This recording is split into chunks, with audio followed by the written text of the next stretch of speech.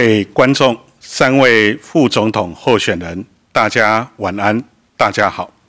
今天是中央选举委员会为第十六任总统、副总统选举所举办的副总统候选人电视政见发表会，由本人中央选举委员会副主任委员陈朝建担任主持人，并请本会黄秀端委员在场。监察。首先，仅代表中选会作为主办单位，向全国观众还有亲自到达现场发表政见的三位候选人，以及承办此次电视政见发表会的公共电视，表达感谢之意。在电视政见发表会开始之前。也将这一次电视证件发表会进行程序与注意事项向各位说明。一、电视证件发表会之进行程序采三轮方式进行，每一轮每位候选人发表证件时间十分钟，时间届满前三分钟按铃一短声。请示意。时间截止时，则按铃两长声，也请示意。届时时间一到，请停止发言。第二轮、第三轮证件发表会进行的时间跟方式，也都和第一轮相同。每次时间截止之后，候选人。就应该停止发言，且不得以任何理由来要求延长。如果没有停止发言，主持人应予制止，并不予播出。二、候选人应该依抽定的发言顺序发表政见，不得要求提前或延后。如今主持人。唱名三次仍未在台上发表政见者，以弃权论。同时，候选人发表政见时，如有违背法令或违反公序良俗之行为，主持人也会予以制止，并不予播出。以上是今天电视政见发表的进行程序与注意事项。在这里也向大家来介绍此次参加副总统候选人电视政见发表会的三位先生女士。发言顺序：第一位是吴新颖女士，第二位是赵少康先生，第三位是肖美琴女士。现在就正式开始今天的电视证件发表会。首先，请第一轮第一位候选人吴欣颖女士发表证件，时间十分钟，请发言。主持人肖美琴女士、赵少康先生，还有全国在看电视的观众们，大家好，大家晚安。我是吴欣莹。身为新手妈妈，还具备国际经验的专业人士，我很荣幸今天代表民众党参选副总统。民众党不像国民两党有沉重的包袱，过去执政党的表现让许多人民都渴望政党轮替，而我们是一个新兴政党，没有包袱，所以才能获得渴望改变。跳脱蓝绿的选民支持，政府要给人民带来更好的生活，因此我主张：一、台湾和平要靠繁荣；二、我们想要繁荣是要吸引企业来投资台湾；三、最终创造的工作机会才能提升人民的薪资，同时保障台湾的安全。我认为台湾和平要靠繁荣，我多次参加国际论坛，与各国领袖交流。我的家族也长期在耕耘台湾，教导我如何取之社会、用之社会。在美国断交等历史关键时刻，我们都选择坚定，与所有的台湾人站在一起。我在台湾成长，后来到国外求学、工作，最后也希望为家乡尽一份心力，选择回来台湾。在金融与慈善业工作二十多年，我了解企业都喜欢稳定。和平和繁荣不只是一个单向的关系，台湾的和平要靠繁荣，而繁荣需要国际的连结。简单说，与国际连结，台湾就可以省掉一半的问题。我在立法院多次展现我国际的影响力。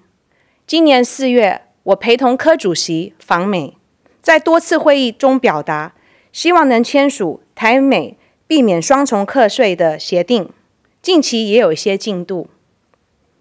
我也是第一位邀被邀请代表欧盟议会的正式公听会的主讲人立法委员。这个月十三日，欧洲议会通过了台欧协定的呃投资决议案。欧盟成为是台湾最大的投资者。我当时在会议中也强调。过去，台湾加入 WTO，签署三十二项双向贸易协定，欧洲也不能落后美国、加拿大跟英国，更要有信心和台湾一起牵动联署协议。如何让企业投资台湾，创造更繁荣的社会呢？根据国际知名人资公司 Willis Towers Watson 所提出的。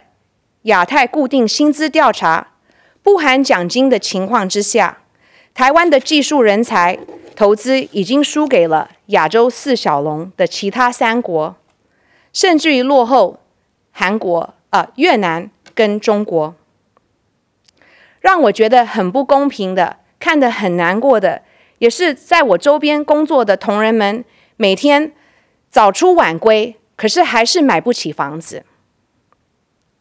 赚钱是为了我们，为了付完我们孩子教育费、父母亲的养老费之后，还有余力跟好朋友们出国旅行，甚至于还有零用钱可以花，而不是缴完房租、电水费之后，口袋还是空空的。因此，政府需要修法，以鼓励更多新的企业来投资台湾为导向，而旧的产业。则需要转型，才能让人民有更多的工作选择，提升普遍的薪资。台湾必须接轨二十一世纪的两大趋势，这也就是数位跟绿色的转型，经济才能起飞。民间总是走在政府前面，而我过去在民间利用了数位发展创新商业契机，从零打造出百万。会员规模的数位金融商业平台。二零一九年，我也推动加入全网银的国家队，打造数位生态圈。二零二二年年底递补立法院之后，我也努力将数位绿色转型带入公部门。我在四百一十二天内推动了十六项法案，五场公听会，三场座谈。此外，我也两次代表立法院在欧盟议会发言和出席 COP 二十八，还有两次代表民众党访美，其中一次还参加台美国防论坛，真的是把一天当三天用。即使我剖腹生产完，还在坐月子的期间，除了视讯工作之外，我还有两次进入立法院。包含质询行政院长。对我而言，政治就是服务选民，政府应该多听民众和产业的声音，因为只要产业好，人民才会好。我相信民众党绝对有能力，以科学、理性、务实的原则带给台湾繁荣的未来，为台湾创造更多的商机，协助企业创新工作机会，全民薪资才会提升。如果提到台湾，就会想到细岛。可是大家知道吗？台湾的就业人口其实百分之六十的都是在服务业，而半导体只占人口就业的百分之三而已。也难怪这几年台湾的人均 GDP 超越南韩，今年超越日本，但是人民却无感受，因为大部分的人的工作都不是在半导体产业里头。以我自己当例子。二十年前，我刚回来台湾的时候，同样都是在金融业工作，但是我台湾拿到的薪水，只有在英国工作的还不到一半。连大家眼中的金融业的金饭碗，在台湾都感受不到经济的成长。半导体的 GDP 年年成长，但带给台湾人民的工作机会却很少。政府应该开发更多的高薪、高科技人才的产业，例如公司协力的师徒制，开创多元产业发展。还记得我小的时候，岁寒的时阵，大家都爱啉 Johnny Walker，因为咱大家台湾人爱讲向前行，哦，Johnny Walker 向前行，爱拼再赢。所以这种的感觉，其实是当时因为亚洲是四小龙啊的首领先。而至至今呢，我们已经落后了许多国家三十年。不过好消息是，我们面前有很多的国际可行方案，能节省很多去摸索的时间。只要开始行动，马上就能急起直追。过去台湾发展的半导体业是由政府强力主导，挑出这个特别的产业，就像是挑了种子。种满了整片田。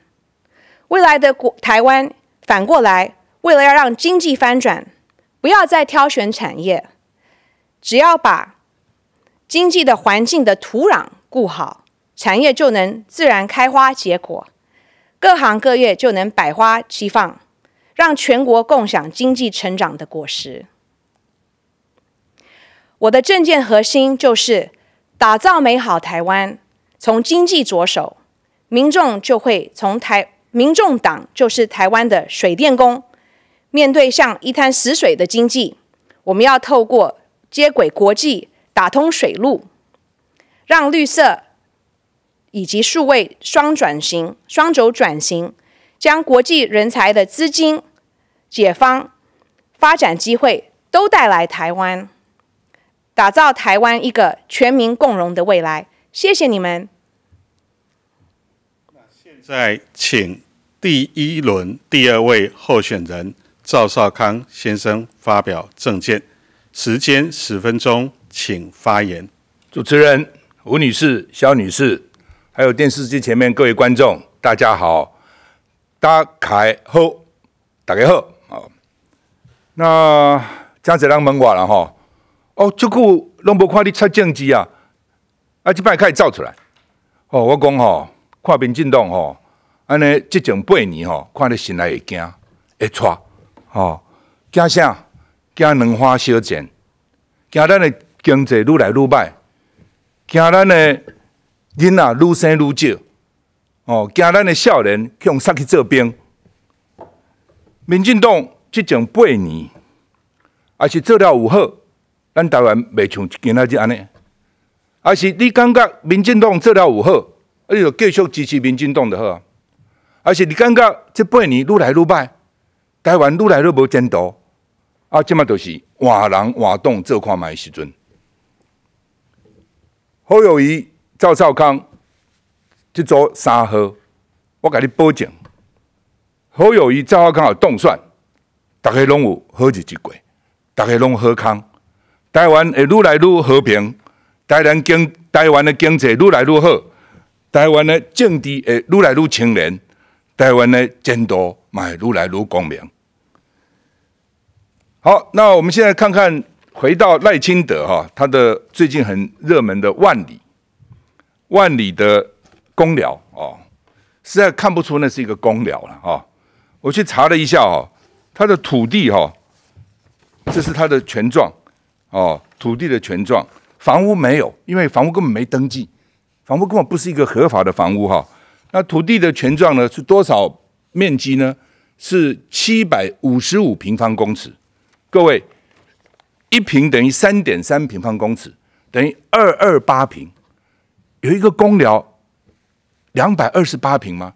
你看过这么大的公寮吗？公寮我们的想法想象都是可能十平啊、二十平啊，怎么会有两百二十八平？原来只以为是一个二层楼的房子，哎，就算了。后来发觉后面还有，后面还有。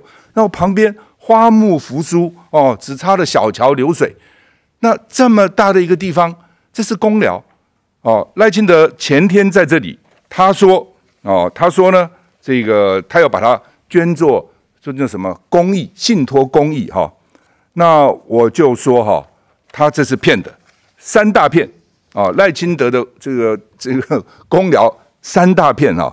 第一大片，他说完矿区完成居住权的手续以后，他就捐出来。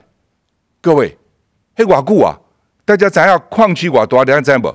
他现在住在万里、双溪、贡寮、平溪、瑞芳，甚至台北市的内湖、南港都是。哦，因为内湖曾经矿区发生。爆炸啊！我还去看我当员死的人一个个抬出来，是很悲惨的哦。那但是你说啊，你雇整个矿区的居住权通通通通完成，怎么可能？我跟你讲哈，以我对行政权的了解，还要送到经济部矿业局，再送到各政府去哈，忙工一年了，三年也完成不了，所以这是缓兵之计嘛。啊，这是第一个。第二个呢，他说公益信托。啊，公益信托就不是捐呢？公益信托的受益人还是他自己啊？那怎么叫捐呢？哦，这是障眼法啊。第三个骗，二八平的公园，公园小楼不是公寮，所以我到澳洲看过，到美国也看过，它旧的矿区，那都是保持原来矿场的状况，原来的那个工人住的那个地方非常非常拥挤，非常拮据，非常可怜，怎么可能？你现在看你怎么看得出来是一个公寮呢？怎么看出来他能够这个怀念纪念以前的这个矿工的辛辛苦呢？看不出来嘛，哦，所以这叫做移花接木、偷龙转凤。所以我也秀了我的这个董事辞职书啊。这个辞职书呢，因为董事辞了后，董事长就辞了哦，总经理也辞了。我就说我只是没没签名嘛，等等赖清德，你什么时候捐？忙个蛋啊，来被当个党席。投票只剩下二十几天了，你还等等什么？你立刻捐，我立刻辞，我立刻名字日期填上我就辞，我就看啊赖清德到底你要什么时候真的把你的土地拿出来，不要用这种移花接木的障眼法转移焦点、模糊焦点啊。那赖清德他这个人很固执，但是我们常常讲说择善固执，尹锡他是择恶固执哦，南铁东移。合法的房子刚跳跳跳，老太太啊在那边哭诉都不都都没没有没有不好。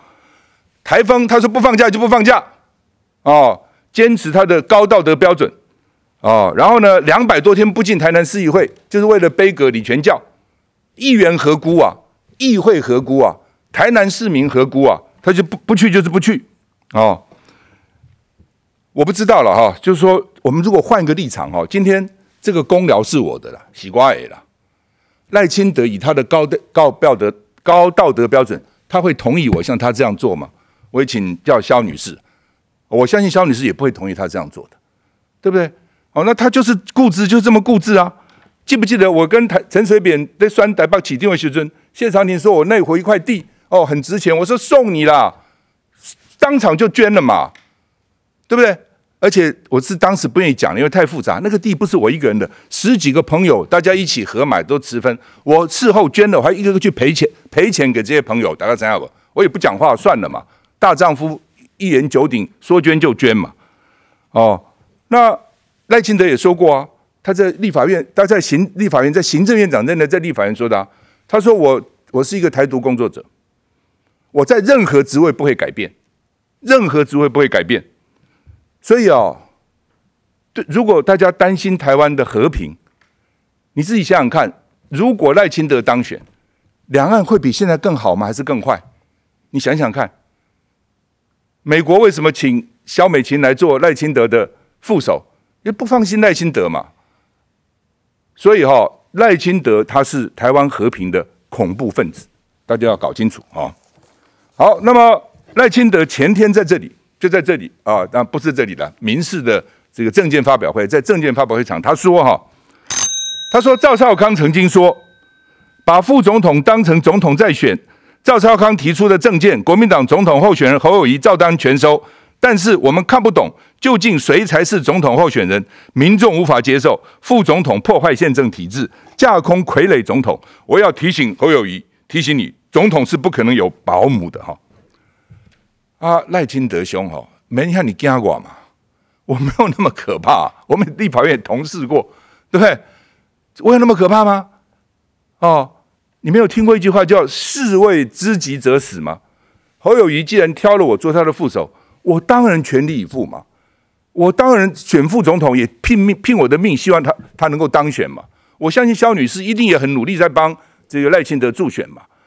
赖清德一定不希望说，哎，你副手哈，不用不用，你你没没哦，你在家休息就好，我赶紧来，不会吧？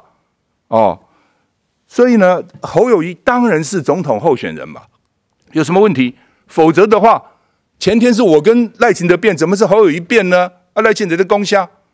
对吧？你变的人就是侯友谊啊。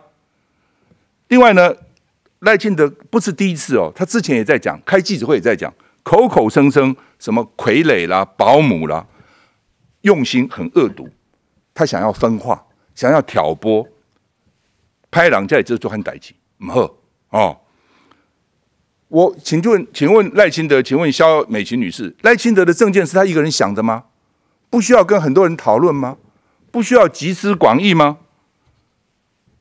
他都弄一个给解良修，我不相信呐。那肖女士、赖清德提提肖明女士做副手，比我比侯友谊提我还早。那这段时间赖清德都没有请教肖女士的意见吗？肖女士都没有提供什么意见给赖清德吗？那提供了赖清德就是傀儡吗？那肖女士就是赖清德的保姆吗？这很奇怪嘛。我哦这边你就可以看得出来赖清德的刚愎自用。我仔细去翻过哈。侯友谊的证件哈，我提出来的哈不到他的三十分之一，他有很多证件呐。等等，我改给供，改给打个 bug 哦。我在这边再强调一次，赖清德不要挑拨了。我改一供，我跟全国的民众报告，赖清德当选就是总统，他就是老大，就是我的老板哦，他是我心目中的扫黑英雄。他是新北市最好的市长，所以才能大赢林佳龙四十六万票。他将来一定是一个最好的总统。谢谢。现在请第一轮第三位候选人肖美琴女士发表政见，时间十分钟，请发言。主持人、监察人吴欣颖女士、赵少康先生以及在电视机和网络前面的国人同胞，大家好。今天是冬至，天气很冷，请大家吃汤圆以外要注意保暖。我是民进党副总统候选人肖美琴。一个月前，我还是中华民国的驻美代表。在更早之前，我担任了四届的立法委员。从海外的侨选立委到台北市的立法委员。二零一零年，我投入花莲的立委补选，虽然当时我没有当选。不过，我还是选择留下来，在花莲经营耕耘了十年。对民进党来说，政治上花莲是个艰困选区，但是对我来说，是一个学习贴近基层的声音，更认识社会多元样貌的地方。这十年间，我更深刻、更体会到什么是城乡差距，以及身为政治工作者，我们所要有的耐性。坚持与毅力，在花莲，我远离台北的政治核心，也并没有太多镁光灯的青睐。千百次的北回线通勤，往返都村、农村与都会，铁公路之间的转乘，其中虽然有一般人难以体会的身心辛苦和疲累，但是想要解决问题以及改善人民生活的使命感。一直是我继续前进的动力。这次参选以来，我的对手阵营对我的国籍以及台湾的认同，不断进行攻击。我虽然不感到意外，但是也感叹：为了选举，一定要这样吗？我愿意再一次清楚的说明，我的父亲是有中华民国国籍的台湾人，所以我有中华民国国籍。我的母亲是美国人，所以我出生的时候也有了美国籍。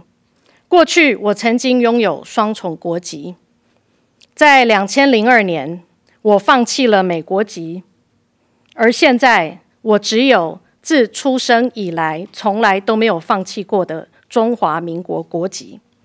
这一点，内政部跟中选会都已经公开说明。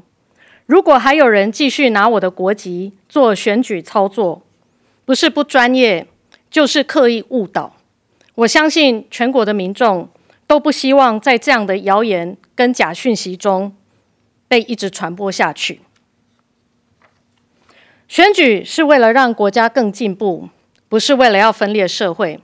在这场选战当中，比攻击我的国籍还要更夸张的事也是不少，包括消费早年矿工居住困境的这个问题。另外，副总统监督总统。以及说我是美国派来监军未来的赖总统，这些主张也让人感到莫名其妙。因为依据中华民国的宪政体制，副总统是备位元首，不是监军，不是保姆，也不能跟总统分享权力。赵少康先生是我的政坛前辈，你从政的时候我还是学生，也一直认为你口才很好。但是有一些理念，我有不同的看法。记得三十年前开始，您就一直说，如果民进党执政，中华民国会灭亡。这三十年来，台湾经过八次的总统大选，蓝绿政党的候选人都当选过，中华民国没有一天消失过。中华民国的国旗每天都在总统府升起。我相信全国的民众都知道。真正想要消灭中华民国的，不是民进党，而是至今无法正视我们存在的中国共产党。你们一样不愿意面对，宁可分化这个社会，也不接受这个事实。煽动仇恨或许可以激化选票，但是赢了选举，却输掉了国家的向心力。难道这是大家所想要看到的结果吗？接下来我要跟各位报告。为什么要支持民进党？过去的这半年，侯市长和柯主席一直在蓝白河的话题当中打转，而这个过程当中，我们没有看到除了反对民进党以外的任何理念的结合，没有看到政策的整合，只有看到权位的分赃。为了谁是正的，谁是负的，最后上演了君悦酒店这出闹剧。在台湾政党发展的史上，写下了丑陋也可笑的一幕。蓝白合不合对我来说都不是重点，因为人民想看到的是每一位候选人能把他的政见、政绩和能力拿出来比，让所有的选民来检视。我看了前两天的总统政见发表会，我听到柯文哲先生提出的一些政见跟看法，都觉得似曾相识。原来是民进党已经在主张、已经在做的一些事情，例如他主张要以对等尊严的立场来处理两岸的交流。对等尊严是我们多年的态度。例如，他提出年轻人关心的居住正义，应该要广建社会住宅，加上赋税改革以及补助来解决。这也是民进党一直在做的。他甚至提出在外交政策上要走蔡英文总统的路线。如果是这样，就应该让有经验、有能力、已经在落实的民主进步党继续做下去。过去八年，股市从马英九卸任那天的八千一百点，上升到现在将近一万八千点；GDP 从十七兆新台币成长到现在的二十三兆；出口总值增加了七成；台湾对欧洲成长超过五成，对新南向国家超过六成。对日本出口成长超过七成，对美国更是超过百分之一百二十。证明民进党就是比国民党懂得拼经济。过去八年，基本工资从两万零八元，明年将调高为两万七千四百七十元。长照支出从不到五十亿，明年即将增加到八百亿。幼儿照顾的预算从一百五十亿到今年已经超过一千亿，再次证明民进党就是比国民党更懂得照顾人民。或许大家会说，执政党把事情做好是应该的，没有错。但是我想请大家想一下，如果未来是蓝白执政，台湾会发生什么事？台湾将回到八年前那个眼中只有中国市场、没有世界舞台的台湾，那个年轻人只领二十二 K 的台湾，那个经济不振、国家未来方向不明的台湾。如果蓝白赢了，好不容易逐渐摆脱对单一市场的依赖，又要走回头路，锁回中国。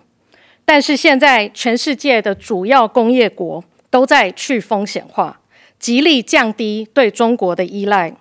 加上中国经济危机重重，青年失业率高涨，台湾重新走回依赖中国经济的老路，真的是对的吗？侯市长说：“最大的篮子也要放鸡蛋，但是最大的篮子如果破了洞，而且暗藏风险，你们还要把更多的鸡蛋放进去吗？”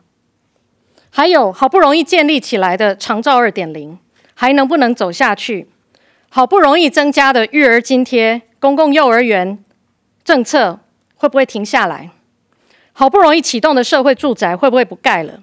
国基国造、国建国造会不会停摆？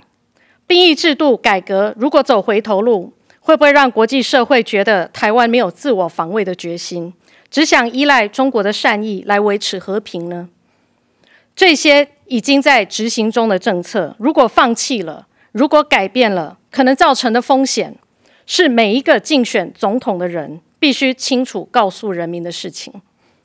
世界正在剧烈的变动，地缘政治正快速变化，全球产业链的重组也正在进行中，数位转型与气候变迁也正冲击全球的经济，在变局中管理风险。是政府最重要的责任，这些都不是用“吼吼这代几”这样一个口号就能解决的问题，也不是喊一喊把国家还给人民就能够确保国家的进步。赖清德跟萧美琴有经验，也有能力，民进党来做一定会比其他政党更好。请支持稳健向前二号的赖清德、萧美琴，谢谢。现在，请第二轮第一位候选人吴欣莹女士发表政见，时间十分钟，请发言。我主张强化治安，从源头解决诈骗犯罪的问题。台湾必须要安全，从治安到国安，人民都需要有保障。二零二二年以及二零二三年年度的代表字票选中，骗、以诈分别入围前三名。根据统计，几乎台湾每一个家庭都受过诈骗讯息，每年遭诈骗的金额更高达两千亿元，快要可以再拨两次的五倍券了。近年来，我国诈骗犯罪严重。甚至于被称为诈骗之岛，人心惶惶。首先，我主张引进欧盟的 GDPR，也就是欧盟的个资法。台湾的个资法落后先进国家三十年以上，而欧盟的个资法已经有超过五十个国家采用。我们只要经过修法，就可以让民众成为自己资料的主人。我们有严重的治安外泄问题，诈骗集团能够很容易的取得我们的个资，尤其在疫情期间，我们都留下许多的实名资料。你们知道这些资料都拿去哪里了吗？修法后将能有效保障人民权益，不管是国家、政府还是企业，都必须更严谨的表保护各自资料，避免资料外泄。第二，打诈要同时上下游进行，才能有效解决。台湾诈骗的问题严重到另外一个原因，就是因为政府掌握不到诈骗的所得，百分之九十的诈骗也是透过虚拟货币转走。执政党到现在对于虚拟货币的交易管制以及洗钱防治管理，距离国际的标准还差得很远。将虚拟货币纳管，不只是能增加政府的财收，也可以保护纳税人哦。做好自然保护，我们也将有要硬体纳入规范，从个人到国家，自然都息息相关。在数位化的时代。治安已经能够在实体的世界上造我对我们造成影响。在二零二一年，美国的石油运输管线曾因为遭骇客侵入而瘫痪。你们能想象，假设台湾的高铁控制系统被骇客侵侵入，会发生什么事情？大家是否记得去年众议员佩洛西访台的时候？我们有许多重要的政府网站都被瘫痪了好几个小时，而我们在民间的话，会及时就能恢复才对。我认为要立即推动台湾的数位转型，强化数位的坚韧性，并且建立便民数位的环境。数位转型将发生在我们社会的每一个角落。产业的 AI 报告也常提到，AI 对产业的冲击有四大面向，包含金融服务、生命科学、软体以及零售业。所以我在立法院就提出了三部跟各资跟资安有关的法案，包含个人资料保护法、资通安全管理法以及人工智慧基础法。但因为民众党只有五席委员，力量薄弱。而无法顺利推动，是有些可惜。第三，我要强调，政府要落实数位转型，也要让民众有感啊。除了能够提升行政效率，更能促进民主参选。以不在籍投票为例，受贿人就高达两百万人，其中包含投票当天因为工作、求学。或是无法返乡的民众，台湾被称为科技岛，我们可以推动电子投票，利用科技提升投票，让百分之十保持沉默的人有机会全民参与民主。这样子的话，我们才可以自称为民主的灯塔。如果民众党执政，我要建立一个以人民为中心的数位行政体系。类似日本的 Japan Go Digital 的计划，日本与新加坡李光耀学校合作，筛选官员以及企业去进修数位的知识，透过公司协力，把一些社会的问题，不论是长照、农业、急难救助等一些问题，做成一些用科技的方式来解决实体上的问题，这样同时也可以推动政府。的数位化转型，同时我也要推动一站式的数位服务，让民众只要一个网站就可以办所有的事情，查所有的资料。政府的数位化很重要，不只是服务人民，更能够强化产业的竞争力。以数位医疗发展来说。二零二二年全球市场的规模六兆元新台币，台湾有强大的 ICT 以及生技医疗产业，若两者能够强强结合，将打造台湾的产业的新引擎，也可以增加许多的就业机会。此外，数位医疗还可以有提升更多的人民健康的福祉，节省医疗资源的消耗，未来。你们也可以不用亲自前往医院，就能在家里接受更高品质的诊断以及照护，也能减少医疗的过程的碳排放。台湾在数位间时代的尖浪，政府必须要完善的各资管理架构，在国际上虽然已经有许多的立法得值得参考，但是我们的政府却连抄都不会，只会在原地踏步。台湾的经济要维持发展的动能，推动数位转型是一个非常重要的策略。我们只要用制度把土壤顾好，好的种子自然就会发芽。讲到数位转型，我们也想到绿色金融转型。如果民众党执政，我们会考虑发展绿色金融，主动邀请朝野以及向利益团体来讨论可行方案，广大投资绿色金融基础，来开拓绿色近零碳排的商机，加速台湾的近零转型，并透过绿色金融，让台湾能领先，从绿色金融做绿色金融外交。许多人可能不知道。台湾的主权信评是双 A 加，在亚洲只有仅次于新加坡。我们是有条件能发展气候金融，吸引国际投资，促进产业、都市永续转型。台湾应该让资产管理的企业，让国际的资金松绑，让证券交易民营化，引进国际的人才、专业的人才，成为亚洲的资产管理中心。成为下一代的永续发展。二零五零年的近零碳排是风险，也是一个机会。不论是欧盟的 CBAM、美国的 CCA、国际上的 RE 一百，都是对台湾的制造业造成冲击。未来超过三成的出口产品都是会被课税。台湾需要做好碳定价，不要让台湾被剥两层皮。以欧盟的碳关税 CBAM 来说，台湾的产值冲击超过五千呃五百亿。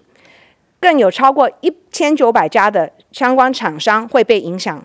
台湾有四成的 GDP 是来自制造业，就会影响多少人的就业人口呢？我们的竞争对手日本、韩国、新加坡、中国早已都实施碳税、碳排放交易。台湾是大的制造国，碳排减碳如果做不好，恐怕遭被踢出国际的供应链。我们必须务实的减碳讨论，无论如何都要以核能作为过渡能源的使用。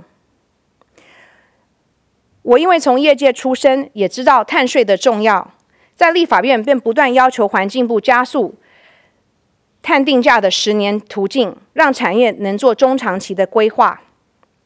环境部也这个月在答应，三个月之后会呃会实施。碳税条例是近邻法治的最后一块拼图，也希望我们的碳交易所不能让国内的产业减少欧盟 CBAM 的支出，以传统产业、以中小企业不能因为缺口年轻人才、数位精灵转型而前途茫茫。民众党绝对不会旁坐着不管。谢谢大家。现在请第二轮第二位候选人赵少康先生发表政见。时间十分钟，请发言。我刚仔细聆听了吴女士两轮的发言哈，她在第一轮里面特别提到经济的重要，我完全认同哈。所以侯友谊市长呢，在不久之前还特别讲，我们将来要组成的内阁是经济内阁。让我再讲一次，经济内阁啊，扯一大堆其他的都没有用哈，把老百姓的生活改善，让台湾的经济能够更好，才是我们最主要的目标哈。那刚刚吴女士也提到哈。说呢？为什么民进党就死也不肯推这个不在籍投票，可以加惠两百万人起码哈？但是民进党就是不肯，因为民进党对我们的选民没有信心哦。那另外呢，二零五零的近邻哦，民进党现在呢，我看也根本做不到哦。蔡英文不是讲了吗？李远哲都生气啊，反正二四二零二四我就我就卸任了，二零二五以后的事我管那么多。那你既然不管，你为什么定个二零二五非核家园呢？那不定二零二四这个家园呢？要算账都不知道找谁算呢啊！好，那么肖女士刚刚有讲哈，她说我以前就讲啊，说中华民国民进党执政会灭亡哈。我讲这个是不是开玩笑的？好，当然我讲这个话也不是只是对民进党讲，我也当对当时的国民党主席李登辉讲。哦，李登辉说他不是台独啊，那结果李登辉任满以后，组织一个比民进党还独的这个政党哦，台联党，大家都看得到嘛，这不是我讲的啊。那民民进党说：“哎呀，这个中华民国国旗在总统府每天都升起。其实很多民进党执政的地方是不升中华民国国旗的。哦，你现在看到中华民国国旗都是国民党执政的地方升的比较多。哦，连国庆的时候，民进党的各种大典的请帖都没有中华民国的标志，都没有国旗的标志。那民进党党民进党党纲，民进党党纲不是就是台独党纲吗？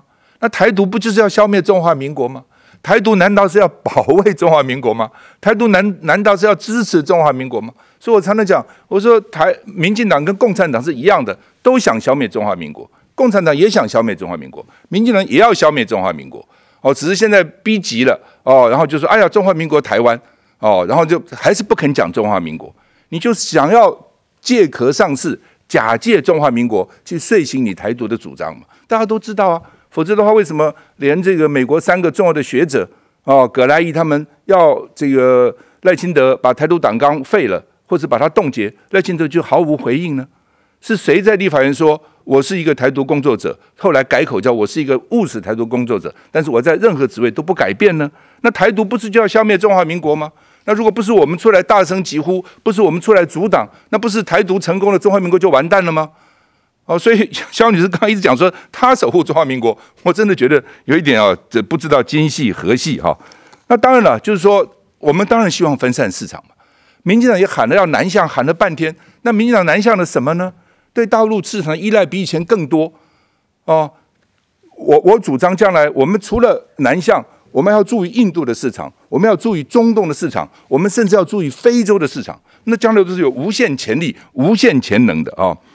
那另外呢，这个民进党说不要靠单一市场，我完全同意啊，最好能够分散市场啊，对不对？但是民进党去年还是靠大陆赚了台湾赚了大陆一千五百、一千五、一千六百亿美金呢，还赚这么多钱呢？大陆去年在美国四千亿美金，里面前二十名的出口商，前十前十七大都是台商啊，所以你说要断，那你去断呢？我很赞成啊。蔡英文不是讲过吗？说如果他当选 X 法，他就要把它取消了。那取消的没有呢？不但没有取消，最近还说不应该取消，不应该取消，这不是也很奇怪吗？那不是这个这个做一套说一套吗？啊，打开放心，民进党承诺大家的社会福利，我们执政以后全部照保留，还要加码，绝对不会删减。另外呢，这个我真的觉得小女士也好，民进党也好，自我感觉蛮良好的了。她刚举很多数字。马英九那时候举数字就被民进党笑，这是冷冰冰的数字。他们现在也去重复，举出一些冷冰冰的数字哈，说他们很好啊，等等一堆哈。如果民进党执政这么好，为什么有六十趴的选民都希望这个换党执政呢？换人执政呢？对不对？我刚也讲啊，也许有人是觉得民进党执政好，那就继续支持民进党嘛。民主政治本来就是这样啊，这贺给小者，这拜瓦郎瓦洞，就是这样子嘛哈。好。我还是要回到赖清德，因为赖清德前天哦在政见发表会说，他说在中国的眼中，出来选总统的都是台独，哇，大家都变成台独了。这种说法完全是赖皮哦，赖总统赖赖总统候选人赖清德不要赖皮哈，我要郑重的说明哈，像赖清德这样不认同中华民国的才是台独。赖清德在国代的时候高举台独万岁。台湾独立万岁的这个这个标志，我想大家都都记得哈。那萧美琴副总统候选人也曾经说过：“We no longer identify ourselves as a Republic of China。”萧女士讲过这话，翻成中文就是：“我们不再认同自己是中华民国。”那现在又变成中华民国的守护者，是不是有一点让大家搞不清楚怎么回事哈？我们我们侯友谊跟我，我们是真正拥护中华民国。我们是有名有实，你们是掏空中华民国，是有名无实，嘴巴讲中华民国台湾，其实在掏空，想尽办法掏空。政治人物哈，真的要表里如一了哈，不要言行不一了哈。好，那国民党在这边，我再次强调，国民党绝对不是一个亲中政党，国民党是永远的反共，他怎么会是亲中政党呢？从两蒋，他就是反共。我们永远捍卫的是中华民国的政党。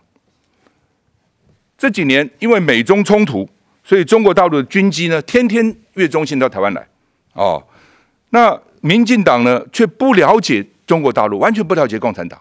哦，那这就是我觉得是民进党对不起台湾民众的地方。你要了解啊，你不能不了解啊，知己知彼啊。那美国跟中国冲突到最强烈的时刻，像最近，他还是要谈呐、还是要沟通啊，更要寻求高级的谈话。拜登一直希望跟习近平见面啊，而且还希望军事上有沟通啊。大家都看到啊，肖女士一定知道啊，她在美国那么久，对不对？那这也是我们主张的，两岸之间要谈，不能不谈啊。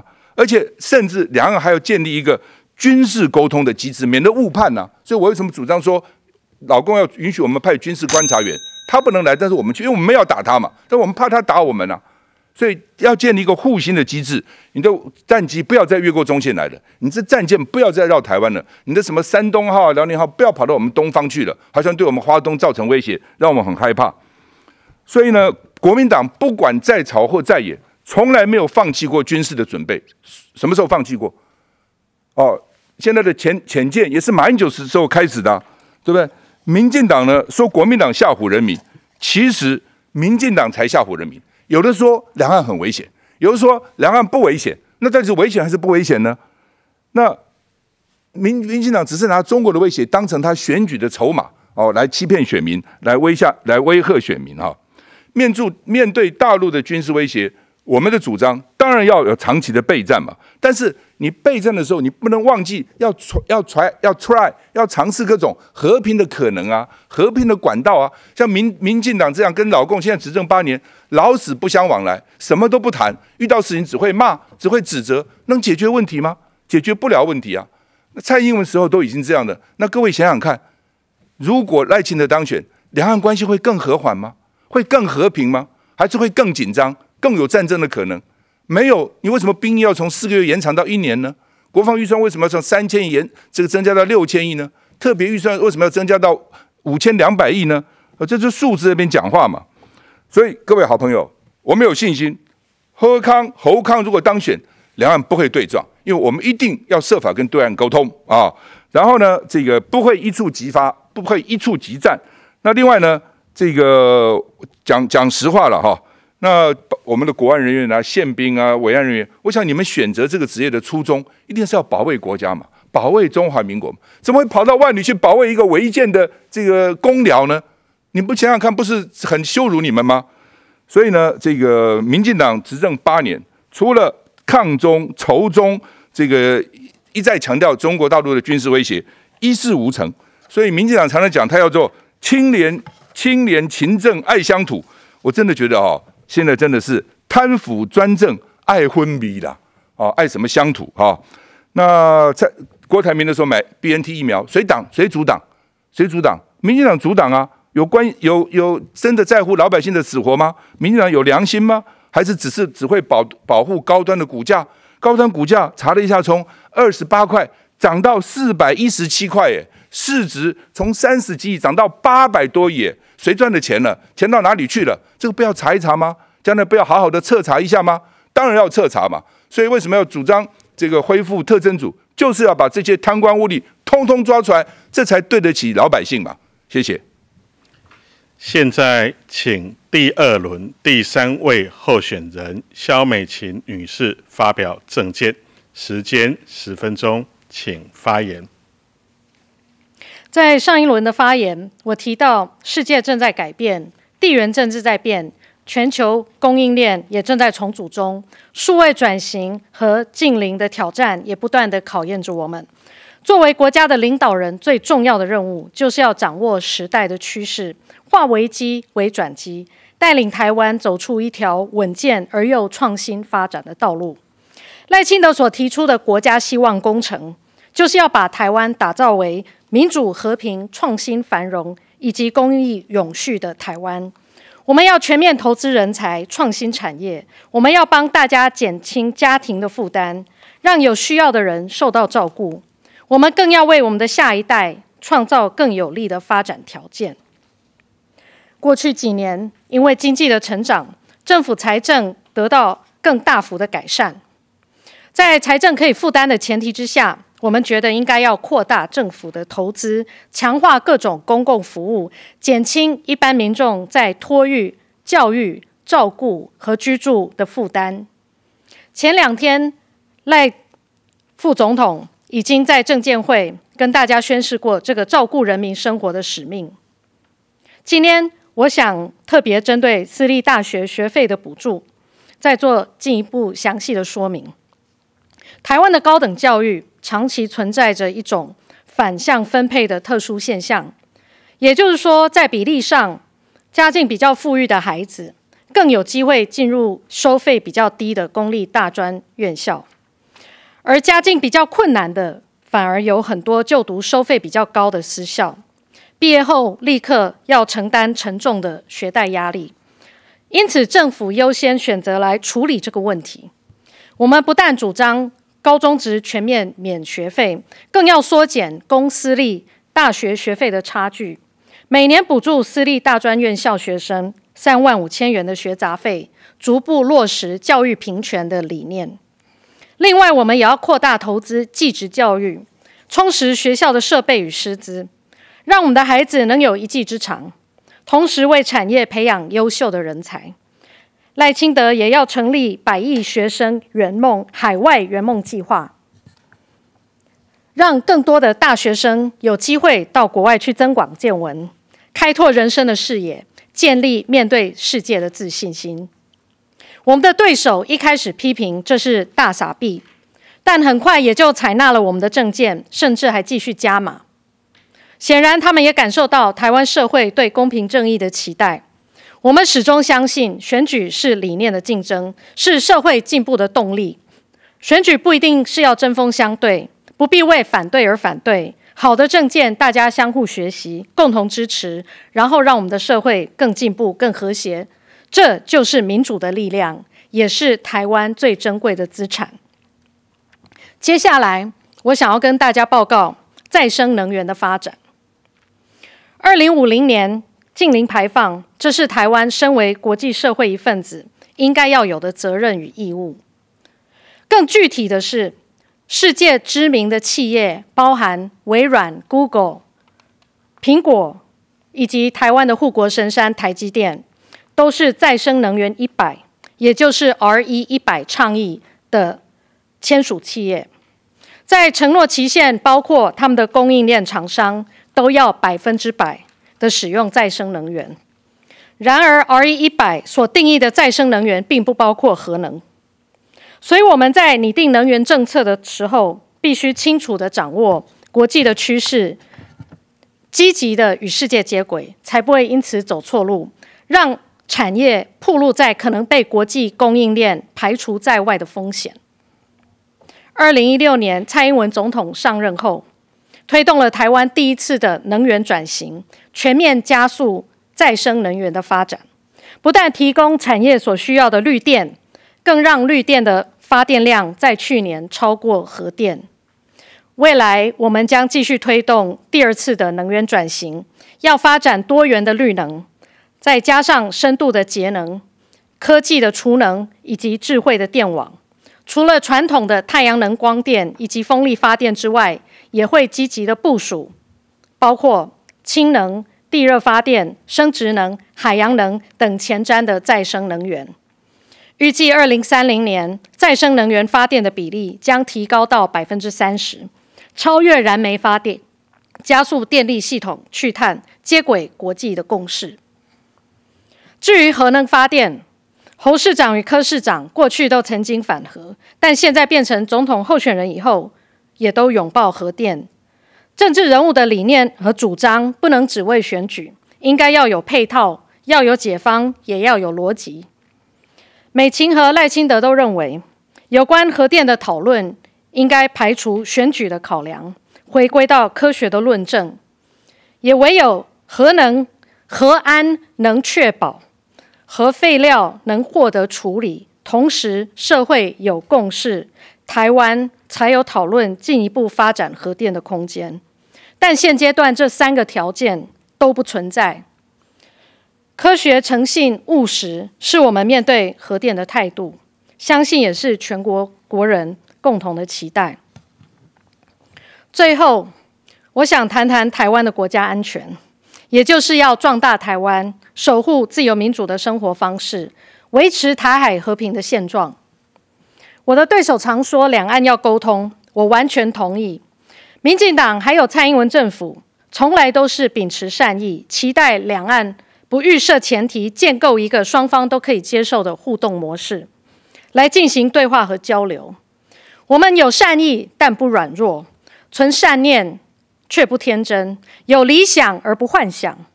我们务实的了解，必须要有实力，对话才会有意义，人民才会放心。国民党主张要重启服贸，显然他们对国际环境的认知没有更新，还停留在十年前，甚至三十年前，中国还在改革开放、韬光养晦的年代。台湾的青年世代已经在十年前的学生运动当中，表达对服贸的忧心。在二十一世纪的今天，经济安全就是国家安全。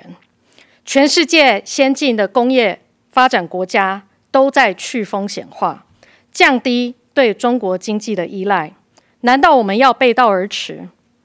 我们认为国防与经济实力是台湾最大的安全保障，也是我们最坚实的依靠。我们强化国防是为了要提升台湾的核阻力。我们寻求贸易的多元布局，是为了寻求经济的安全。我们和世界上其他理念相近的国家发展关系，是为了让台湾走向世界。我们秉持善意，负起责任，更是要建立健康有序的两岸交流，降低台海紧张关系，确保和平的现状。我们恢复义务役一年的役期，同时调整训练内容和强度。并提高役男的待遇和福利，因为我们相信兵役制度是为了让我们更强、更扎实，而不是在浪费青春。这段时间，我听到很多人在讨论我们自制的永鹰号高教机，还有海鲲号潜水艇。我们也组了国家无人机国家队，大家心中都充满着骄傲。未来我们会继续国机国造、国建国造的政策。并且提供国军最现代化的训练、最好的待遇，让大家在保卫国家之余没有任何后顾之忧。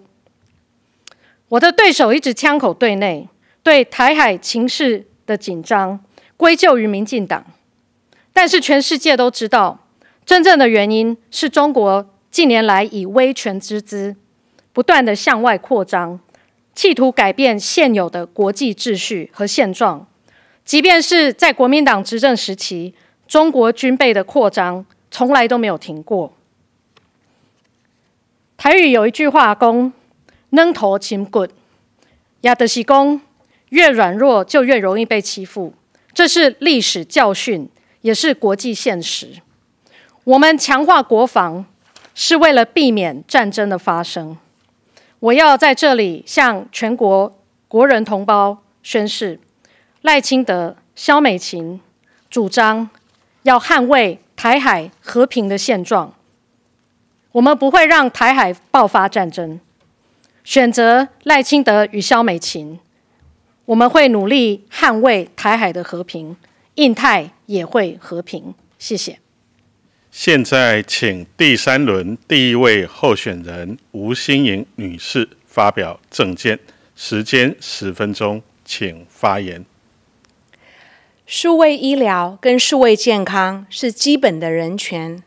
十多年前，我在非洲看到的兽医就已经经过数位来替家畜来做看诊，所以我主张台湾也应该加速推动数位医疗，利用科技、客制化，让我们的医疗健康能提升到照护的品质，让身体的状况不一样的每一个人都能实现。精准医疗，同时数位医疗可以走出医院，成为覆盖整个社区，从睡眠、饮食、日常生活切入，达到防治甚为治疗的效果。从照顾民众，从医院到社区，释放的物理智能师。职能治疗师等促进健康的人才，能创造更多的工作机会，服务更多的民众。数位医疗以及数位健康也可以带给我们三大好处：第一，可以减少医疗资源的浪费，让健保不用向人民再收更多钱，就可以永续经营。第二，减少医疗工作的量，让医师人员不过劳。第三，放宽远距医疗，能让超过七百万的慢性病患者、行动不便的老人家都可以简单的获得服务。数位健康可以让我们做得更多，而投资健康也可以让我们做得更好。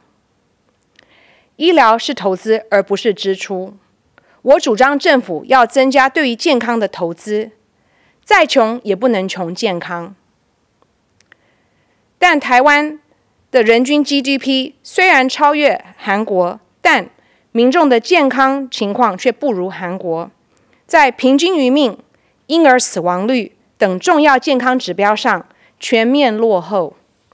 二零二一年，台湾政府花在每个人身上的医疗健康支出只有韩国的三分之二而已。另外，我主张健保点值就要以一比一点一为目标，让医疗院所能够稳定经营，才能帮医事人员加薪，提供更好的医疗服务。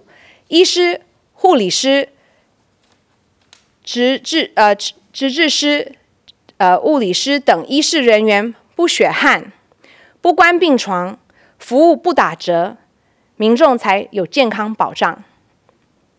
至于投资健康的财源，我主张成立主权基金，让政府的能有能力照顾人民。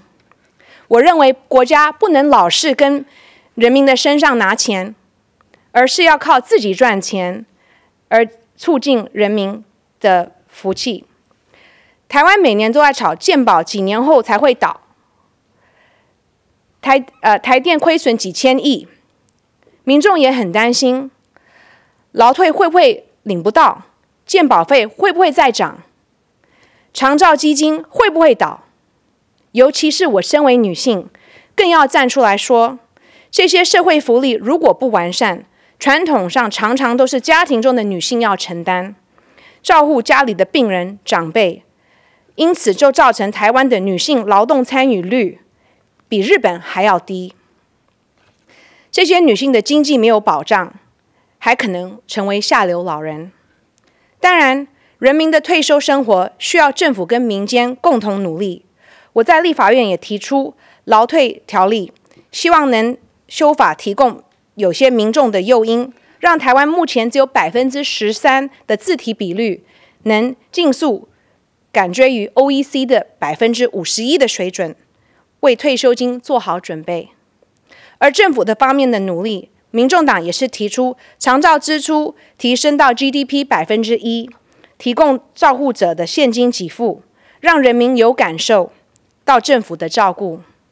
但我们不是开空支票，而我主张台湾应该用主权基金赚的钱补贴健保长照，让政府有更有能力让人民有更好的生活。国际上早有许多的国家，例如爱尔兰、挪威、日本等，都利用主权基金投入社会福利政策，面对高龄化社会的问题。国际上的主权基金有许多成功的案例，只看政府有没有决心跟担当。外界可能会有些担心，主权基金的经营绩效会不会像四大基金一样？事实是完全不一样的。我提出来的主权基金将是百分百投资海外。投基金，同时不是投码头、机场或是一些高风险的投资，而是透过资产配置，追求比较低风险，大约百分之七到百分之八的合理报酬。例如香港的主权基金，债券以外投资比重只要有多百分之二十，投报率将会是提升到百分之四点五，这也是比现在央行的百分之二点六来得高。透过这样的储蓄型的主权基金，台湾就能提升我们的人民购买力，打败通膨，为下一代带来保障。至于要解决央行认为外汇存底永远不够的焦虑，我还是一样一句话：与国际接轨就能解决我们一半的问题。虽然我们不是 IMF 的会员，但是我们可以争取向日本等国家签署央行货币互换协议 （Central Bank Swap）。我们也可以学习知名的主权基金，建立独立决策的人事制度，公开透明监督，让人民得到信任。主权基金能支撑台湾的未来繁荣，是给我们人民最好的礼物。政府要相信专业，学习国际经验。要用有决心跟执行力来应对我们下一代的挑战。新加坡的 GIC 在一九八一年，当时是吴清瑞副总理的执行下，只花了八个月的时间就成立。他退休的时候，李光耀写一封信感谢他，说新加坡这一代能去植物园、鸟园、圣头沙，甚至听到新加坡的交响乐团，都是因为吴清瑞当初设立 GIC 才造。成新加坡现在能享受现在的生活，台湾已经没有时间可以浪费了。要设主权基金不是一个 yes or no 的问题，政府必须要有执行力。我想告诉所有的民众，台湾需要改变，改变就是现在，请把这个执行力交给最有能力的柯银佩一起来改变。最后总结，我想分享就是说。我是一位新手妈妈，台湾的未来跟我孩子的未来，我希望能打造一个有发展性、有竞争力的台湾。我最主要的目标，这就是我最终的目标。我也希望全力以赴，能守护台湾的未来。台湾具有非常好的人文环境跟潜力，譬如戴资颖、李安、捷安特、台积电等台湾之光，在国际舞台上发热发光。培养的人才与产业，也打造美好台湾的基础。所以我主张透过国际联结、数位转型、绿色金融、永续医疗、主权基金，对内解决产业、民生、医疗等问题，对吸引企业来投资台湾，提升国家竞争力，创造繁荣光景。选举现在只剩下二十一天了。你的票可以决定台湾的未来。过去新营在企业服务客户，现在新营需要你的支持，来服务所有台湾的民众。请你给科营一个机会，给民众党一个机会，让我们用科学、理性、务实，打破政治的包袱，用专业、公开、透明，打造一个干净、和平的社会。这一次。我们要当自己的主人，总统、副总统候选人，请支持一号柯银佩，把国家赢回来。谢谢大家。现在请第三轮第二位候选人赵少康先生发表政见，时间十分钟，请发言。刚刚听了吴女士啊谈这个主权基金哦，我是赞成的哈。事实上，马英九当总统的时候，我就曾经建议过。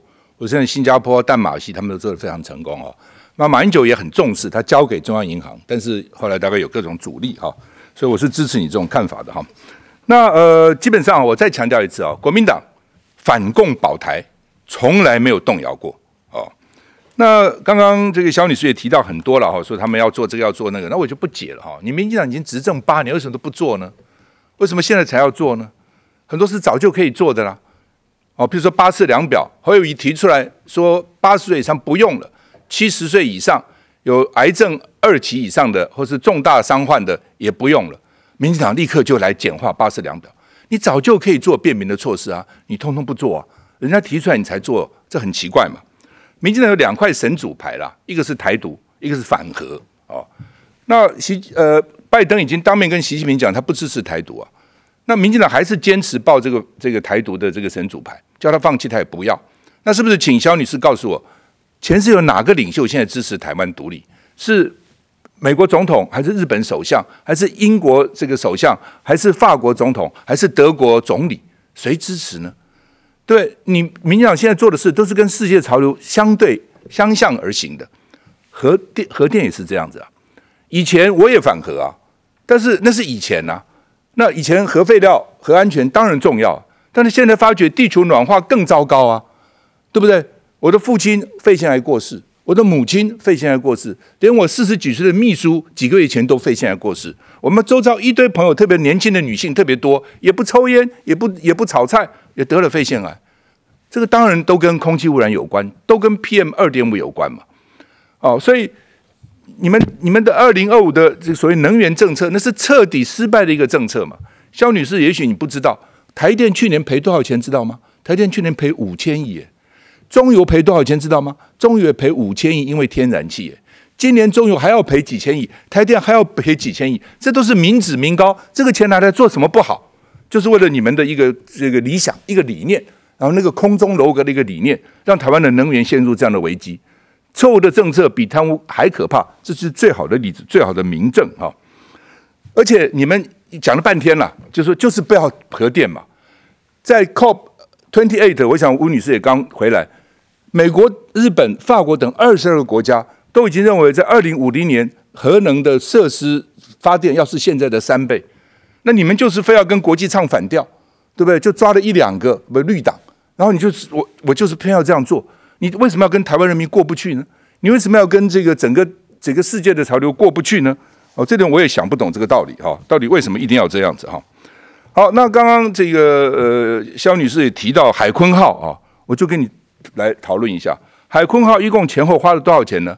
五百三十亿，哦，那美金十七亿多，这是天价哎！我们当然支持我们的国建国造，我们都支持，但是你总要总要价钱合理嘛，对不对？那二零一九年，南韩大宇造船厂卖的三艘 Type 二零九潜舰给印尼，多少钱？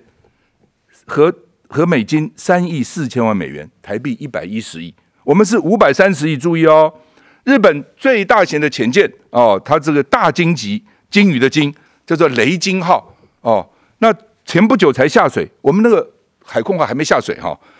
那造价呢七百亿日元，和台币一百五十亿，比台湾还大啊，排水量三千吨，比我们多五百吨，各各项设备都很先进。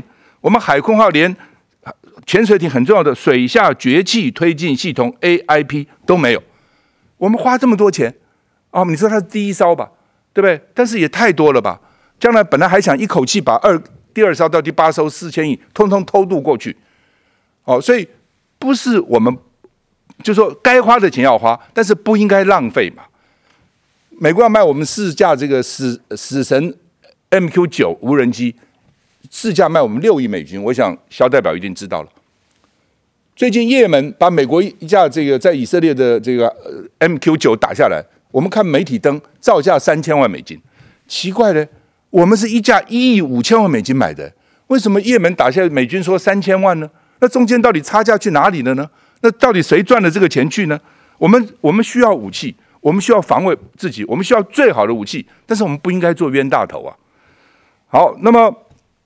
另外呢，看看台南的八八枪枪枪案呐，哦，黑道白道就各种绿能蟑螂把光电都吃了，所以你看看多少民进党人牵涉在里面，贪腐已经变成民进党的 DNA 了。民进党执政八年了，人民过的是什么样的生活？民进党这些大官吃香喝辣，绿能蟑螂吃香喝辣，一般人是怎样？那肖女士，你知道现在一块鸡排多少钱吗？一杯珍珠奶茶多少钱吗？一个一块鸡排原来是三十五块、四十块，现在九十块、一百块。原来一杯真奶二十五块、三十五块，现在要五十块到一百块。你跟我们讲说经济成长多好，GDP 多少成，老百姓的感受是这样子啊。老百姓的薪资所得已经赶不上物价的飞涨，这是切实的感受啊。痛苦指数越来越多越多。各位好朋友，我们的青年朋友绝对不是草莓族，不是厌世代，不是躺平族。现在的青年最大的痛苦是没有机会啊，没有发挥的余地啊，有志难伸。每一张 Uber Uber Eats，每一张这个 Panda 这个 Food Panda 订单的后面，都是一张一张年轻的台湾青年的脸孔啊。所以很多年轻人被逼到柬埔寨去打工，被人家骗，被人家杀。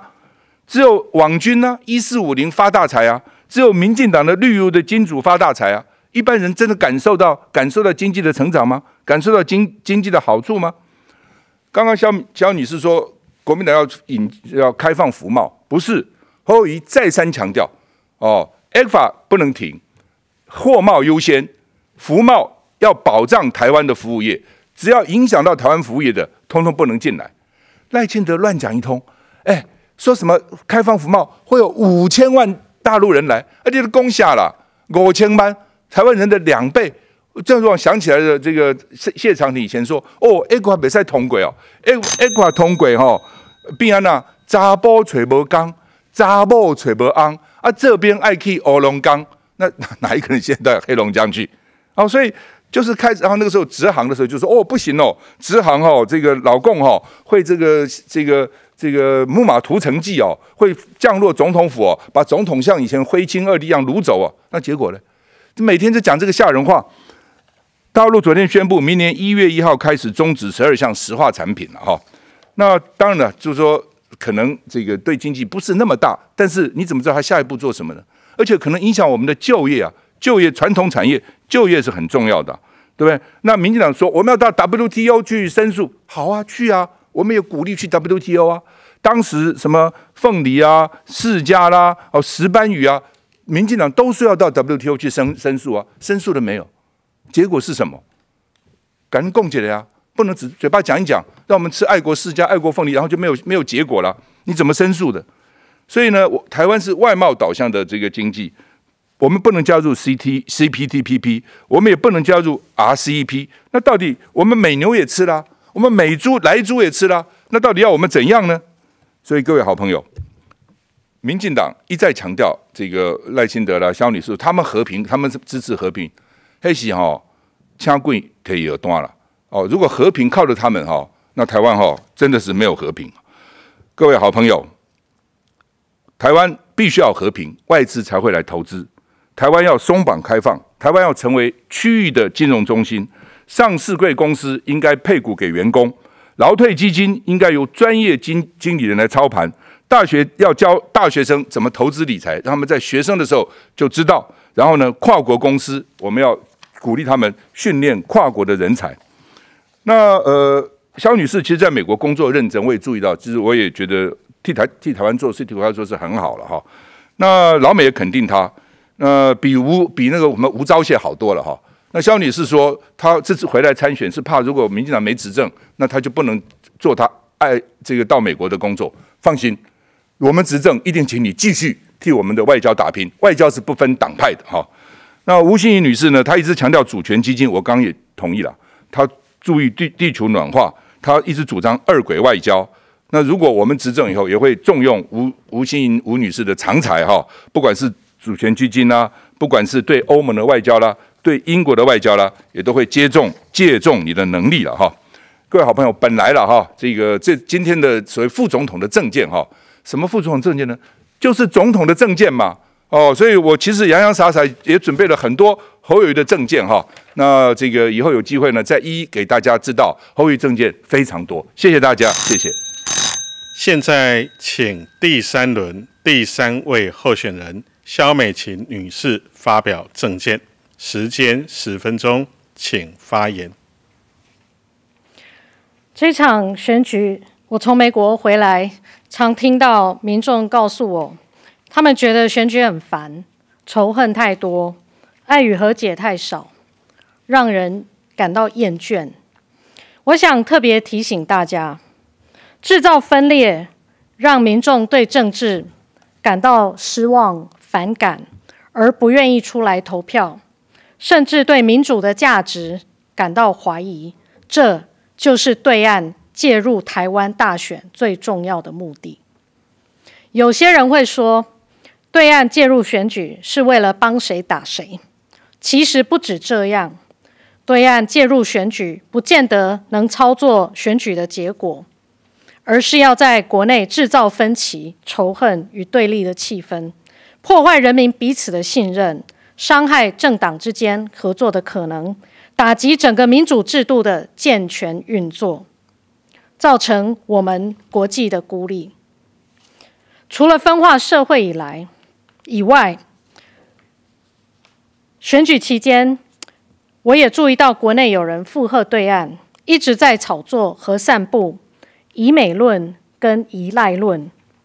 我要在这里跟大家报告，蔡英文总统对两岸关系的处理，就是冷静不躁进，理性不挑衅，负起国际责任，维持两岸现状，这是国际社会信赖台湾的基础。而赖清德跟萧美琴是能够延续蔡英文路线最有能力的一组候选人，这也是大家所公认的。疫情期间，全世界疫苗都缺货，美国政府伸出友谊的手，及时优先让台湾获得疫苗的捐赠。当台湾受到军事威胁、外交打压的时候，也是美国跟我们充分合作，一起度过挑战和难关，也优先跟我们签署了第一批的贸易协定。美国和台湾是坚实的伙伴，我们都相信民主，对印太地区的和平繁荣也都有坚定的决心。台湾是区域内有能力也负责任的一份子。会跟爱好和平的朋友们团结在一起，为区域的和平做出贡献。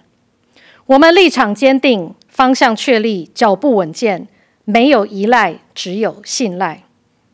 不少国际友人反而注意到，国民党的高层，包含赵少康先生和侯友谊市长，在台湾、在美国，甚至是派人到中国讲的，都不太一样。包括兵役制度、军购政策，这些外国朋友自然会心生怀疑，感到疑惑。所以，我认为你们在散布以美依赖论之前，才更应该要把自己的国家安全论述先整合好，不要再变来变去。我们的对手也用邦交国断交来攻击政府。把外交上我们遭遇的挫折转换成建立欣喜的政治打击，我真的感到很痛心。中华民国台湾是一个主权国家，本来就有权利跟全世界各国建立外交关系、交朋友、走向世界。只因为中国的打压、权力封杀我们在国际社会上生存的空间，才会有跟邦交国断交的事情发生。我们应该对外一起奋斗，遭遇打压的时候一起愤慨才对。尤其我在外交界服务的这些年，虽然面对中国无情打压，依然看到我们的外交同仁努力捍卫台湾的权益。没有一件事是容易的，台湾的外交官需要比其他国家的官员更努力，付出更多的心血。才能够取得进展。而当我们克服万难、获得突破的时候，我们的外交同仁更以来自台湾为荣。谢明佑有一首歌《路路有路，咱就欢喜唱歌；无路，咱聊起过岭。咱的外交官，逐工拢伫上困难的路程当中聊起过岭。最后，我要用一点时间跟年轻的朋友说一些话。我知道你们可能觉得民进党不够好，有一些改革也许不够快或不够进步。我也承认，确实有些从政同志忘了当年的初衷，在纪律上、在道德上有疏失，犯了错，让人留下不好的观感。我知道这些都是民进党政府必须承担，也必须要检讨、反省、改进的地方。这八年来，我们做了很多的事，做了很多的改革，在每一个改革的过程当中，未必获得掌声，但遭遇很多困难却是有的。改革没有速成班，而每一次在满足一部分人期待的同时，也需要有千头万绪的准备与配套，才能降低不必要的风险。往往在达成目标之前，都有伤痕累累的过程。就像婚姻平权这个议题，两千零六年我是台湾第一位在国会提出同性婚姻法的立法委员。那个时候，民众的意见和社会的气氛都不像现在更有包容、多元和理解。二零一九年，经过十三年的时间，台湾成为亚洲第一个同婚合法化的国家。大家对这个结果感到高兴与骄傲，但是大家也可能忘记了推动立法的过程当中各种的纷扰、社会的误解、对立跟冲突，曾经是多么的强烈。在能源转型的议题上，当蔡英文决定开始做的时候，也同样受到一些人的批评、反对和冷嘲热讽。现在还是包括今天，但是我们努力做，坚持做，克服困难，终于完成第一阶段的能源转型。不但确保台湾不会缺电，更持续提供产业所需要的绿电。我举这两个例子，是要跟你们说明，民进党在推动进步的议题上，并不是一帆风顺，在进行改革的时候。也是满身伤痕，但是我们坚持在对的路上，和大家一起往前走。在遇到困难的时候，和大家一起克服；在达成目标的时候，也和大家一起共享成功的喜悦。这就是民进党，也是我们勇于改革和承担的精神。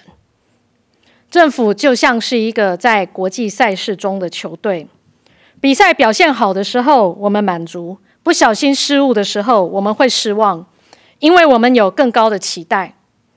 只是这个时候，球员反而更需要我们的鼓励跟支持，因为我们是一个团队，更是一个团结的国家。最后，我想要拜托大家：如果过去这八年，你觉得在蔡英文总统执政之下，台湾真的有进步、变好了，那这一票，拜托。请您继续支持我们，继续给我们机会。赖清德跟萧美琴不会辜负大家的期待。如果这过去过去的八年间，你觉得台湾虽然改变了，但是还不够好，那我想请你给往未来继续前进的赖清德、萧美琴和我们的团队一个机会，让台湾继续在世界的舞台上发光发热。让这样的台湾成为更多人自由幸福的所在，前进不后退。一个人往前走一百步很容易，但是历史的前进是一百个人往前走困难的一步。我们既然已经走了第一步，就应该要往前踏出第二步，不应该再走回头路。正因为民主是我们的信念，进步是我们的坚持，我们才会聚在一起。赖清德和萧美琴会带着大家的期待，以及赋予给我们的责任，为台湾人民做更多，为台湾人民走得更远。谢谢大家。谢谢三位副总统候选人的政见发表。今天由中央选举委员会。所主办的，由公共电视所承办的副总统候选人电视政见发表会到此圆满结束。感谢国人的收看，也谢谢本会黄秀端委员的在场监察。随后，本月二十六日下午两点，各位观众也可以继续在中视频道。来收看第二场总统候选人电视政见发表会。最后，中选会也提醒全国的选举人，明年一月十三日为投票日，请记得携带国民身份证、印章、投票通知单前往投票，踊跃投票。谢谢大家。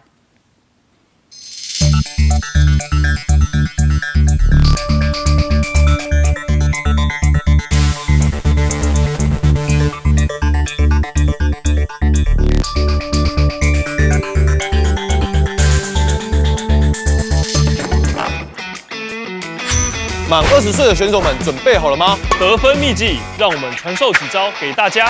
招式一：投票带三宝，国民身份证、印章，还有投票通知单。招式二：选举要领三张票，全票后记得投入票滚。招式三：六岁以下儿童可一起进入投票所，大人免烦恼。一月十三，你就是选手，一起为民主得分。比赛开始，来喽！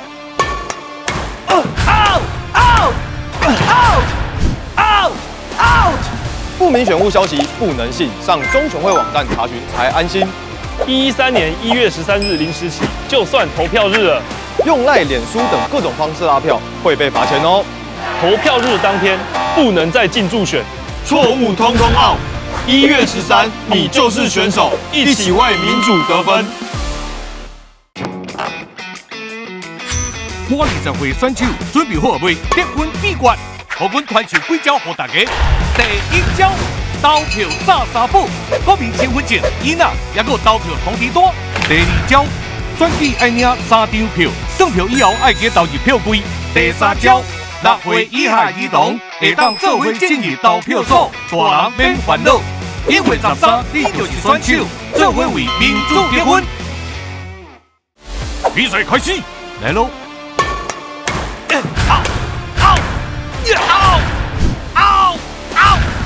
不明的选务消息未当时，去中选会网站查询才安心。一百十三年一月十三零点开始，就算投票日啦，用赖面册这各种方式邮票会向还钱哦。投票日迄天，未当我竞做选，错误全部扣。一月十三，你就是选手，做伙为民主结婚。万一是这个线数准确好么？这本笔记本来就传输记者本大家，第一招投票带三宝，国民身份证、印呢，还有投票通知单。第二招，先去爱量三张票，上票过后记得投入票柜。第三招，六岁以下的儿童坐在中华青年投票所，爱你不是烦恼，一年十三唔就会限数，中华民民主得分。比赛开始，来了。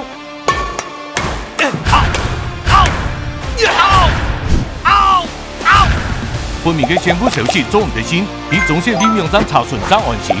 一百一十三年一月十三两点批示，就算投票日了，用来免数量的各种方式绑票，不本人发钱哦。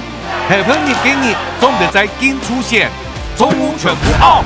一月十三，唔就会限数，中华民民主得分。